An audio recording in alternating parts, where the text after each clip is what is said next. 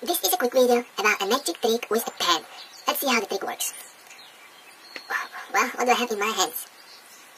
A pen, no? Pencil.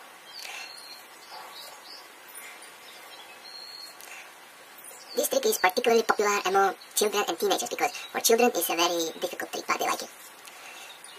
It does not require much, just a pencil or a pen.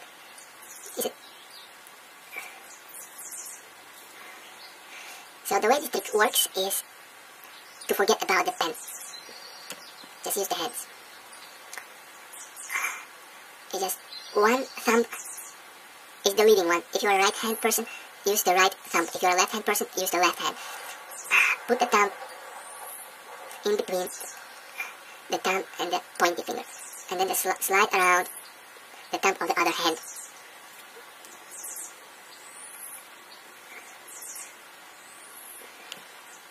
Once you practice without the pen, the trick with the pen becomes much, much easier. If you have no thumbs at all, this trick is not going to work for you.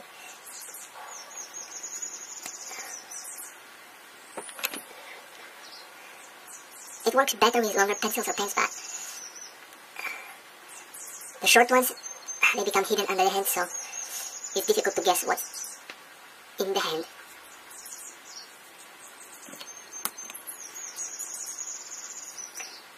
If you have children or know somebody has children, play this trick along. It's a fun thing.